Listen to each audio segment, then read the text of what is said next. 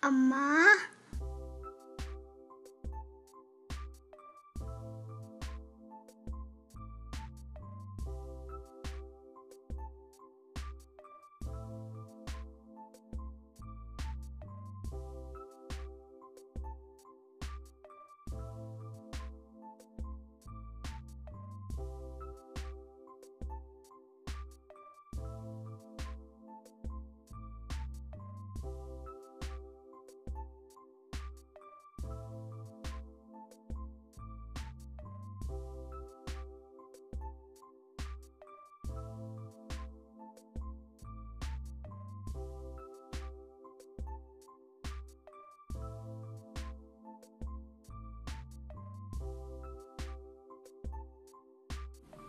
hi friends good afternoon welcome back to my channel ఎలా ఉన్నారు friends మీరందరూ?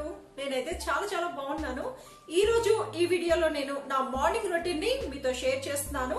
అలాగే నేను last time monthly budget video నేను పోస్ట్ చేసినప్పుడు చాలా మంది వ్యూస్ అడిగారు టెన్ థౌసండ్లో మంత్లీ బడ్జెట్ని ఎలా ప్రిపేర్ చేసుకోవచ్చు ఎలా రెడీ చేసుకోవచ్చు చూపించమని అడిగారు. కాబట్టి ఈ వీడియోలో నేను టెన్ థౌసండ్ సాలరీ వచ్చే వాళ్ళు మంత్లీ బడ్జెట్ని ఎలా ప్లాన్ చేసుకోవచ్చో చూపిస్తాను. ఫ్రెండ్స్ ఈరోజు పిల్లల లంచ్ బాక్స్లోకి నేను క్యారెట్ దోశ చేస్తున్నాను. అలాగే సోయా అంటే మిల్ మేకర్తో ఒక రైస్ ఐటెం కూడా నేను చేస్తున్నానండి. క్యారెట్ వచ్చి పిల్లలకి చాలా మంచిది కదండి. చాలా మంది పిల్లలు అయితే మనం క్యారెట్ ఇచ్చినా కూడా తినరు. వాళ్ళు లైక్ చేయరు. కాకపోతే ఇవన్నీ కూడా ఎప్పుడు కూడా వెజిటబుల్స్ అన్ని రకాల వెజిటబుల్స్ అయితే మనం పిల్లలకి పెడుతూ ఉండాలి. అప్పుడే హెల్త్ కూడా చాలా మంచిది కదా. మెయిన్గా క్యారెట్ ఒకటి బీట్రూట్ ఇవన్నీ కూడా చాలా మంచిదండి. ఇలా ఎవరైనా పిల్లలు క్యారెట్ ఇష్టపడకపోతే తినడానికి ఇష్టపడకపోతే మీరు ఈ రకంగా దోశ చేసి చేయొచ్చు దోశ చేసి ఇచ్చామంటే దోశ టేస్ట్ అనేది బాగుంటుంది. అలాగే ఒక డిఫరెంట్ టేస్ట్లో వాళ్ళకి ఆ దోశని తిన్నప్పుడు కూడా వాళ్ళకి అనిపించదు అసలు అది క్యారెట్తో చేసిన దోశ అని కూడా అనిపించదు. చాలా హ్యాపీగా నిర్వహిస్తారు మీ ఇంట్లో మీ పిల్లలు ఎవరైనా సరే ఇలా క్యారెట్ని ఇష్టపడకపోతే ఇలా దోశ కానీ ఇడ్లీలో కానీ మీరు యాడ్ చేసి ఇచ్చేసేయండి. చాలా టేస్టీగా ఉంటుంది. ఇప్పుడైతే నేను ఈ క్యారెట్ దోశ ఎలా చేసుకు ఎలా చేస్తాను నేను అనేది మీతో షేర్ చేస్తాను. ఫస్ట్ నేను దోశపిండి తీసుకున్నానండి. ఈ దోశపిండి ఎలా ప్రిపేర్ చేసుకోవాలనేది మన వీడియోస్లో ఉంటుంది. నేను ఈ దోశపిండిలో తురుముకున్న క్యారెట్ వేసుకున్నాను. ఆల్రెడీ ముందే సాల్ట్ కూడా యాడ్ చేశానండి. ఇప్పుడు నేను మొత్తం కూడా బాగా మిక్స్ చేస్తున్నాను. స్టవ్ పై ప్యాన్ పెట్టుకున్నాను దోశ తవ పెట్టుకున్నానండి. అది హీట్ అయిపోయిన తర్వాత నేను ఈ రకంగా దోశలు చిన్న సైజులో వేసుకుంటున్నాను. నేను ఇంతకుముందు వీడియోస్లో కూడా చెప్పాను కదా నేను పిల్లలకి లంచ్ బాక్స్లోకి నేను ఇలా దోశలు ఇచ్చేటప్పుడు చిన్న సైజులోనే ఇస్తాను. అలా ఇస్తేనే పిల్లలు తినే టైంకి అవి సాఫ్ట్గా అలానే ఉంటాయి. లేకపోతే మనం పెద్ద సైజులో చేసి ఇచ్చామంటే చాలా హార్డ్గా ఉంటాయి పిల్లలు తినలేరు. నేను ఇప్పుడు ఇందులో ఆయిల్ వేస్తున్నాను.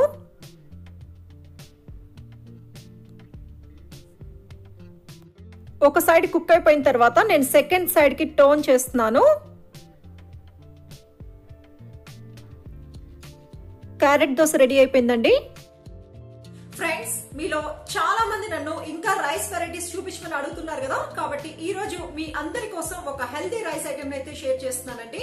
ఇది వచ్చి మిల్ మేకర్తో చేస్తున్నాను. చాలా మంది మిల్ మేకర్తో కర్రీస్ చేసుకుంటారు లేదా పులావ్ పులావ్ లాగా చేసుకుంటారు కదా. ఈ రోజు నేను చూపిస్తుంది వచ్చి చాలా డిఫరెంట్ రెసిపీ అండి. నేను మిల్ మేకర్తో ఒక రైస్ ఐటమ్ చూపిస్తున్నాను. మీరు పిల్లలకి కానీ మన లేడీస్కి కానీ మిల్ మేకర్ వచ్చి చాలా మంచిది. వీక్లీ వన్స్ కానీ టెన్ డేస్కి ఒకసారైనా మన మిల్ మేకర్ని మన ఫుడ్లో మనం యాడ్ చేసుకోవాలి ఇంక్లూడ్ చేసుకోవాలి. ఈరోజు ఈ రోజు సింపుల్గా ఈ మిల్ మేకర్ రైస్ని ఎలా చేసుకోవచ్చో నేను మీతో షేర్ చేస్తాను. స్టవ్ పై పాన్ పెట్టుకున్నాను అందులో ఆయిల్ వేసుకున్నాను. ఆయిల్ హీట్ అయిపోయిన తర్వాత నేను ఇప్పుడు ఇందులో హోల్ గరం మసాలా వేస్తున్నానండి. బిర్యానీ ఆకు చెక్క లవంగాలు ఇలాచి అలాగే సోంపు వేసుకున్నాను అలాగే జీడిపప్పులు వేసుకున్నాను. ఇవి ఫ్రై అయిపోయిన తర్వాత ఒక టూ ఆనియన్స్ని మీడియం సైజ్ ఆనియన్స్ని కట్ చేసుకొని వేసుకున్నాను. ఈ ఆనియన్ వచ్చి బాగా ఫ్రై అవ్వాలి. ఇప్పుడు ఇందులో స్లిట్ చేసుకున్న గ్రీన్ చిల్లీ వేసుకున్నాను. ఈ గ్రీన్ చిల్లీ కూడా కొంచెం ఫ్రై అవ్వాలి.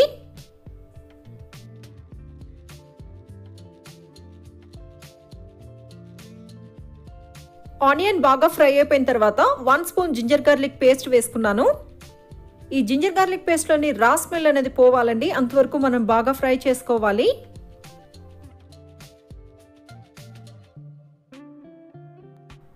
ఇప్పుడు ఇందులో కొంచెం నేను కరివేపాకు వేసుకున్నాను.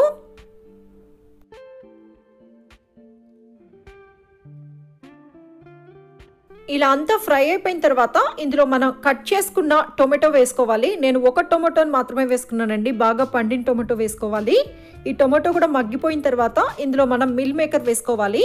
నేను ఈ మిల్ మేకర్ని ఒక ఫైవ్ మినిట్స్ హాట్ వాటర్లో ఉంచి తర్వాత అందులో ఉండే వాటర్ మొత్తం కూడా నేను స్క్వీజ్ చేసేసానండి. మొత్తం తీసేసాను. ఇప్పుడు ఈ మిల్ మేకర్ని కూడా మనం కొంచెం సేపు ఫ్రై చేసుకోవాలి. మిల్ మేకర్ కొంచెం ఫ్రై అయిపోయిందండి. ఇప్పుడు ఇందులో నేను సరిపడినంత సాల్ట్ వేస్తున్నాను. కొంచెం పసుపు. టర్మరిక్ పౌడర్ అలాగే చిల్లీ పౌడర్ వేసుకున్నాను. ధనియా పౌడర్ గరం మసాలా పౌడర్ వేసుకున్నాను. మొత్తం కూడా మనం బాగా మిక్స్ చేసుకోవాలి. మనం టూ మినిట్స్ ఇలా ఫ్రై చేస్తే మనకు ఆ ఫ్లేవర్స్ అనేవి మొత్తం కూడా మనకి మిల్ మేకర్కి పడుతుంది. చూడండి మొత్తం కూడా మిల్ మేకర్ కూడా బాగా ఫ్రై అయిపోయింది. ఇప్పుడు ఇందులో మనం ముందుగా బాయిల్ చేసి పెట్టుకున్న రైస్ వేసుకోవాలి. రైస్ వేసుకున్న తర్వాత మనం బాగా మిక్స్ చేసుకోవాలి.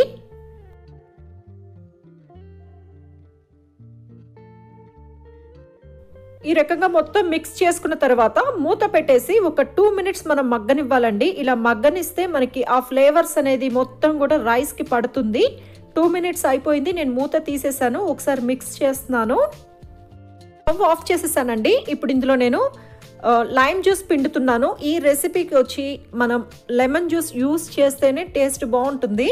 స్టవ్ మాత్రం ఆఫ్ చేయాలండి. లేకపోతే టేస్ట్ అనేది చేంజ్ అయిపోతుంది. నేను స్టవ్ ఆఫ్ చేసేసి లెమన్ జ్యూస్ పిండిన తర్వాత మొత్తం కూడా ఒకసారి బాగా మిక్స్ చేస్తున్నాను. స్నాక్ టైం కోసం నేను క్యారెట్ దోశను ప్యాక్ చేసేసానండి. ఇది చాలా టేస్టీగా ఉంటుంది. అంతేకాకుండా చాలా హెల్దీ రెసిపీ కూడా. మీరు కూడా ఒకసారి ఈ దోశను ట్రై చేయండి. చాలా టేస్టీగా ఉంటుంది. పిల్లలైతే లైక్ చేస్తారు. అలాగే లంచ్ బ్రేక్ కోసం నేను సోయా రైస్ అంటే మిల్ మేకర్ రైస్ ప్రిపేర్ చేశాను. ఇది కూడా చాలా హెల్దీ అండి. మిల్ మేకర్లో మనకి ప్రోటీన్ అనేది ఎక్కువ ఉంటుంది కదా పిల్లలకి చాలా మంచిది. అలాగే మన పెద్దవాళ్ళకి కూడా మంచిది. ఇవి అండి ఈరోజు మా పిల్లల లంచ్ బాక్స్ కోసం నేను రెడీ చేసింది క్యారెట్ దోశ అలాగే మిల్ మేకర్ రైస్.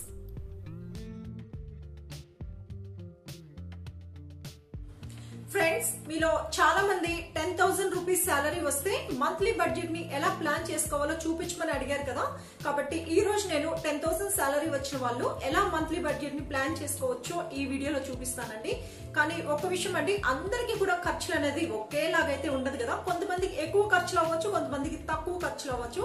అలాగే హౌస్ రెంట్ నేను చూపించిన నేను చూపించింది అయితే టెన్ థౌసండ్కి ఎలా మనం కరెక్ట్గా ప్లాన్ చేసుకోవచ్చో నేను చూపించాను. అలాగే నేను చూపించినంత కంటే మీకు ఎక్కువ కూడా అవ్వచ్చు. హౌస్ రెంట్ అనేది ఎక్కువ అవ్వచ్చు. ఇంకా మిగిలిన ఖర్చులు కూడా ఎక్కువ అవ్వచ్చు. కానీ నేను ఇప్పుడు మీకు చూపిస్తుంది వచ్చి నేను చూపించినట్లుగా మీరు ఫాలో అయితే మీకు ఈ టెన్ థౌసండ్ సాలరీతో మీరు హ్యాపీగా హ్యాపీగా మంత్ మొత్తం కూడా స్పెండ్ చేయగలరు. అలాగే ఇంకా మీరు సేవింగ్స్ కూడా మీరు చేసుకోగలరు. నేను ఇందులో వచ్చి current bill sorry gas bill వచ్చి త్రీ మంత్స్కి నేను వేసానండి అంటే మనం టెన్ థౌసండ్ సాలరీ వచ్చినప్పుడు కొంచెం జ్యూస్ అనేది మనం ఖర్చు పెట్టుకోవాలి. అలా ఖర్చు పెట్టుకుంటేనే మనం వన్ మంత్ వరకు మనం హ్యాపీగా ఉండగలం. అంటే నెక్స్ట్ మంత్ స్టార్ట్ అయినా కూడా మన దగ్గర కొంచెం అమౌంట్ అనేది మనం సేవ్ చేసుకోగలం. కాబట్టి నేను ఈ రకంగా చూపించాను. అలాగే పిల్లల స్కూల్ ఫీజు కూడా ఇందులో నేను కొంచెం తక్కువ అమౌంట్లోనే నేను చూపించానండి. అంటే ఒకవేళ స్కూల్ అంటే స్కూల్ ఫీజులన్నీ అన్ని మనం కూడా ఇది చేయలేము. కొన్ని స్కూళ్ళల్లో ఎక్కువ ఫీజు ఉంటుంది. కొన్ని స్కూళ్ళల్లో తక్కువ ఫీజు ఉంటుంది. కాబట్టి మిగిలిన ఖర్చులు మనం కొంచెం తగ్గించేసుకొని ఆ వచ్చిన అమౌంట్ని సేవ్ చేసుకొని మనం పిల్లలకి కొంచెం అంటే నేను చూపించిన రేట్లు అయితే ఇప్పుడు స్కూల్ ఫీజు ఉంటుందో లేదో కూడా నాకు ఐడియా లేదు. జస్ట్ నేను స్టేట్ బోర్డ్ నేను మెన్షన్ చేశానండి. ఇంకా కొంచెం మంచి స్కూల్స్ అంటే మీరు ఇలా సేవ్ చేసుకున్న దాంట్లో మనం హ్యాపీగా మన పిల్లల్ని మనం చదివించవచ్చు మెయిన్గా ఇంకొకటి కొంతమంది ఆర్డి గురించి ఎఫ్డి గురించి అడిగారు. ఆర్డి అంటే రికరింగ్ డిపాజిట్ అండి. అంటే మన పోస్ట్ ఆఫీస్లో కానీ బ్యాంకులలో కూడా మంత్లీ మనకు వచ్చే శాలరీలో ఒక అమౌంట్ అంటే మనం ఫైవ్ థౌసండ్ ఇట్లంతా వేసుకోవాల్సిన అవసరం లేదు. జస్ట్ ఒక ఫైవ్ హండ్రెడ్ రూపీస్ కూడా మనం మంత్లీ సేవ్ చేసుకోవచ్చు. అంటే చిన్న చిన్న అమౌంట్స్ మనం సేవ్ చేసుకుంటూ వెళ్ళామంటే అదే అమౌంట్ కొన్ని రోజులకి పెద్ద అమౌంట్ అవుతుంది కదా. కాబట్టి కొంచెం కొంచెమైనా మనం సేవ్ చేసుకోవచ్చు. అంటే మీ ఖర్చులు మీకు తెలుస్తుంది కదా. మీకు మంత్ వచ్చే లోపలికి ఇంత ఖర్చు అవుతుంది అని మీకు తెలుస్తుంది కదా. అందులో ఎంతో కొంత అయితే మనం సేవ్ చేసుకోగలం. ఆ సేవ్ చేసుకున్నది వచ్చి మనం ఈ రకంగా ఆర్డీలో ఒక రికరింగ్ డిపాజిట్లో కానీ లేదా ఎఫ్డీలో ఫిక్స్డ్ డిపాజిట్లో కానీ మనం ఇన్వెస్ట్ చేసుకుంటూ వెళ్ళాము. అంటే మన పిల్లల ఫ్యూచర్కి అంటే మన పిల్లల ఎడ్యుకేషన్కి మనకి చాలా యూజ్ అవుతుంది. ఇప్పుడు ఎడ్యుకేషన్ వచ్చి చాలా కాస్ట్లీ అయిపోయింది కదా. ఇప్పుడు అసలు ఎంతెంత ఫీజులు అయిపోయాయో. కాబట్టి ఆ టైంలో మనం ఇబ్బంది పడకుండా ఉండాలి అంటే మనం ఇప్పటి నుంచే మన పిల్లల పేరు మీద ఎఫ్డి కానీ ఆర్డీలో కానీ మనం ఈ రకంగా ఇన్వెస్ట్ చేస్తూ ఉండాలి. మనకి చాలా బ్యాంకులు అయితే ఉన్నాయండి. అలాగే పోస్ట్ ఆఫీస్లో కూడా. బ్యాంక్స్ కంటే పోస్ట్ ఆఫీస్లో కొంచెం ఇంట్రెస్ట్ అనేది ఎక్కువ వస్తుంది. కాబట్టి మీకు ఏది అందుబాటులో ఉంటే మీరు ఆ రకంగా ఎఫ్డి చేసుకోవచ్చు. అంటే ఫిక్స్డ్ డిపాజిట్ వచ్చి మనకి ఫైవ్ ఇయర్స్ దాకా అయితే మనకు మనీ అనేది మధ్యలో ఇవ్వరు కాబట్టి మీరు మీరు ముందు డిసైడ్ చేసుకోండి. మీకు మధ్యలో ఏ అవసరం రాదు అనుకుంటే ఫిక్స్ చేసుకోండి. కానీ ఫిక్స్డ్ డిపాజిట్లో చేస్తే మనకి ఇంట్రెస్ట్ అనేది ఎక్కువ ఉంటుంది. లేదా మాకు వన్ ఇయర్కి ఫీజ్కి సరిపోయేంత మేము సేవ్ చేసుకుంటామంటే మీరు ఆర్డీలో రికరింగ్ డిపాజిట్లో చేసుకోవచ్చు. ఇది కూడా మనకి అన్ని బ్యాంకులలో ఉంది అలాగే పోస్ట్ ఆఫీస్లో కూడా ఉంది. కాకపోతే పోస్ట్ ఆఫీస్లో వచ్చి కొంచెం ఇంట్రెస్ట్ రేట్ అనేది కొంచెం ఎక్కువ దొరుకుతుంది మనకి అంతే. ఈ రకంగా నేను చెప్పి ఇప్పుడు నేను చెప్పినట్లుగా టెన్ థౌసండ్ సాలరీ వాళ్ళు ప్లాన్ చేసుకుంటే ఖర్చులు అన్ని పోను మనం కొంత అమౌంట్ని మనం సేవ్ చేసుకోగలము. అంటే అందరికి కూడా ఇది అందరికి ఒకేలాగా ఉంటుందని నేను చెప్పనండి. జస్ట్ మీకు ఒక ఐడియా కోసమే నేను ఈ monthly budget ten thousand salary వచ్చిన వాళ్ళు ఎలా బడ్జెట్ ప్లాన్ చేసుకోవచ్చో చూపిస్తున్నాను. ఫ్రెండ్స్ లాస్ట్ వీడియోలో నేను ఫిఫ్టీ థౌజండ్ శాలరీ వస్తే మన బడ్జెట్ ప్లాన్ ఎలా చేసుకోవచ్చో చూపించాను. అంటే థర్టీ థౌజండ్ని మనం ఖర్చు పెట్టుకొని ట్వంటీ థౌజండ్ని ఏ రకంగా సేవ్ చేసుకోవచ్చో చెప్పాను. నన్ను ఆ వీడియోలో చాలా మంది టెన్ థౌజండ్ శాలరీ వస్తే ఎలా మెయింటైన్ చేసుకోవాలి? అంటే ఎలా బడ్జెట్ని ప్లాన్ చేసుకోవాలి అని అడిగారు. కాబట్టి ఈ రోజు నేను టెన్ థౌజండ్ శాలరీ వస్తే మనం ఎలా మెయింటైన్ చేసుకోవచ్చు? బడ్జెట్ని ఎలా ప్లాన్ చేసుకోవచ్చో చెప్తాను. ఫ్రెండ్స్ ఇప్పుడు మన శాలరీ వచ్చి టెన్ థౌసండ్ రూపీస్ అయితే మనం ఏ రకంగా మనం బడ్జెట్ ప్లాన్ చేసుకోవచ్చో నేను ఇప్పుడు చూపిస్తాను. ఫస్ట్ వచ్చి నేను మనకి ప్రతి నెల కంపల్సరీగా ఉండే ఎక్స్పెన్సెస్ని ఫస్ట్ మనం ఆ ఖర్చుని నోట్ చేసుకోవాలి. అంటే ఇది ఇయర్ మొత్తం కూడా మనం పే చేయాల్సి ఉంటుంది కదా ప్రతి నెల కూడా. కాబట్టి first rent ఎలక్ట్రి electricity bill gas phone recharge and cable ఇవి అన్ని కూడా ప్రతి నెల ఉంటుంది కాబట్టి అలాగే గ్యాస్ వచ్చి మనం ఎంత తక్కువ యూజ్ చేస్తే అంత మంచిదండి. అంటే త్రీ మంత్స్ వచ్చేటట్లుగా మనం చూసుకున్నామంటే మనకి మన బడ్జెట్ అనేది కరెక్ట్గా ఇది అవుతుంది. మనం వన్ మంత్లోనే గ్యాస్ ఫినిష్ చేసామంటే మాత్రం చాలా చాలా చాలా ప్రాబ్లం అవుతుంది కాబట్టి కొంచెం మనం టెన్ థౌసండ్ సాలరీ వచ్చినప్పుడు కొంచెం చూసి ఖర్చు పెట్టుకోవాలి. ఏదన్నా సరే అంటే కరెంట్ కూడా మనం ఎక్కువ లైట్స్ వేసుకొని ఇలా అంతా చేయకుండా మనకి మనకి ఏది అవసరం అంతవరకే మనం ఇది చేసుకోవాలి. ఇప్పుడు నేను రెంట్ కూడా త్రీ థౌసండ్ రూపీస్ ఇందులో వేశానండి. ఈ త్రీ థౌసండ్ రూపీస్ రెంట్ హౌస్లో మనం ఉంటేనే మన మిగిలిన ఖర్చులు అన్నిటి అన్ని పోను. కొంచెమైనా మనం సేవ్ చేయగలం. అదే మనం ఎక్కువ రెంట్లోకి పోయాము అనుకోండి అదే టెన్ థౌజండ్ సాలరీలో మన four thousand five thousand rupees rent హౌస్లో ఉన్నాము అంటే మిగిలిన ఖర్చులు చాలా ప్రాబ్లం అవుతుంది. మిగిలిన ఖర్చుల్ని మేనేజ్ చేయడం చాలా చాలా ప్రాబ్లం అవుతుంది కాబట్టి మినిమం త్రీ థౌజండ్ రూపీస్ రెంట్లోనే హౌస్ హౌస్లోనే మనం ఉండేటట్లుగా మనం చూసుకోవాలి. కాబట్టి ఫస్ట్ నేను రెంట్ త్రీ థౌజండ్ రూపీస్ వేశాను. అలాగే electricity bill one fifty rupees. అంటే మినిమం ఎంత తక్కువ ఎలక్ట్రిసిటీ బిల్ వస్తుందో మనం అంత తక్కువ బిల్లు వచ్చేటట్టు మనం చూసుకోవాలి. ఎక్కువ వేస్టేజ్ ఏది అవ్వకుండా అలాగే గ్యాస్ వచ్చి త్రీ మంత్స్ వచ్చేటట్లు మనం చూసుకోవాలండి. అలాగే ఫోన్ రీఛార్జ్ వచ్చి మినిమం బ్యాలెన్స్ మనం వేసుకొని అదే మెయింటైన్ చేసుకుంటే మనకి మంత్ మొత్తం కూడా మనం ఈజీగా మేనేజ్ చేసుకోవచ్చు. అలాగే కేబుల్. ఇది మొత్తం కూడా మనకి మంత్ వచ్చే లోపలికి three thousand nine hundred rupees అవుతుంది. అంటే నేను ఈ త్రీ మంత్స్ని డివైడ్ చేసి వేసానండి ఇక్కడ gas the two fifty rupees. ఇప్పుడు మనకి మొత్తం మంత్ వచ్చే లోపలికి three thousand nine hundred rupees వచ్చి ఇది మొత్తం మనకి ఇంపార్టెంట్ ఫస్ట్ మనం మనం పక్కన పెట్టుకోవాల్సిన అమౌంట్ వచ్చి ఇంత. నెక్స్ట్ వచ్చి మనం గ్రాసరీస్ అంటే ఇంటికి కావాల్సిన సామాన్లు. గ్రాసరీస్ వచ్చి టూ థౌజండ్ ఫైవ్ హండ్రెడ్ రూపీస్లోనే మనం మొత్తం కూడా ప్లాన్ చేసుకోవాలి. అంటే ఇంటికి కావాల్సిన రైస్ కానీ పప్పులు కానీ ఇంకా సోప్స్ అని పౌడర్స్ ఇవన్నీ ఉంటాయి కదండి. అవి అన్నీ కూడా మనం ఎప్పుడు కూడా కొంచెం హోల్సేల్ షాప్స్లో కానీ లేదా మన ఇంటి దగ్గర ఉండే చిన్న చిన్న షాప్స్లో మనం పర్చేస్ చేయడం చాలా మంచిదండి. అలా మనం పర్చేస్ చేస్తే మనకి చాలా మనీ అనేది సేవ్ అవుతుంది. అంటే మిగిలిన కొన్ని షాప్స్లో వచ్చి ట్యాక్స్ అంటారు. ఇంకా చాలా ఎక్కువ రేట్లని ఉంటాయి కదా. మనం అదే హోల్సేల్ షాప్స్లో కానీ లేకపోతే ఇంటి దగ్గర ఉండే చిన్న షాప్లో తీసుకున్నాం అంటే మనకి గ్రోసరీస్ చాలా తక్కువ రేట్లో దొరుకుతాయి కాబట్టి నేను two thousand five hundred rupees వేసాను. ఇంతకంటే ఎక్కువ కాకుండా మనం ప్లాన్ చేసుకోవాలి. అలాగే వెజిటబుల్స్ అండి. వెజిటబుల్స్ వచ్చి సిక్స్ హండ్రెడ్ రూపీస్ అంటే per week one fifty rupees మనకి వెజిటబుల్స్కి ఫ్రూట్స్కి అయ్యేటట్లుగా మనం చూసుకోవాలి. ఇలా మనం ప్లాన్ చేసుకుంటే మనకి మంత్కి సిక్స్ హండ్రెడ్ రూపీస్ వచ్చి మనకి వెజిటబుల్స్కి ఫ్రూట్స్కి మనకి సిక్స్ హండ్రెడ్ రూపీస్ అవుతుంది.